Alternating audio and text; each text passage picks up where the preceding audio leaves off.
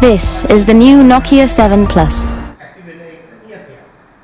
එක්සත් ජාතික පක්ෂය විසින් තනියෙන් ආණ්ඩුවක් හදනවද කියලා තීන්දුවක් එක්සත් ජාතික පක්ෂයේ නැහැ. ජනාධිපතිවරයා හදන්න යන කැබිනට් මණ්ඩලය මොන පක්ෂවල සමාජිකයන්ගෙන් සමන්විත වෙනවද කියලා හදන්න ජනාධිපතිවරයාට අදහසක් දැනීමක් නැහැ. 2015 ජනවාරි 8 වෙනිදා අපි පත් කෙරුවේ නිර්පාක්ෂික ජනාධිපතිවරේ. නමුත් එතුමා පත් වුණ දවසේ ඉඳලම සර්වපාක්ෂික වුණා. ඒ තුල අද එක්සත් ජාතික පක්ෂය බරපතල විදියට සෝදපාලු වෙලා තියෙනවා. එතුමා නායකත්වයේ දුන්න ශ්‍රී ලංකා නිදහස් පක්ෂයේ කෑලි තුනකට කඩලා තියෙනවා. මේ රටේ ප්‍රධාන දේශපාලන පක්ෂ දෙකම දියාරු කරලා ප්‍රජාතන්ත්‍රවාදය ගෙනියන්න බැරි නීති ආධිපත්‍ය පවත්වාගෙන යන්න බැරි අරාජික තත්ත්වය රට තුල නිර්මාණය කරලා තියෙනවා.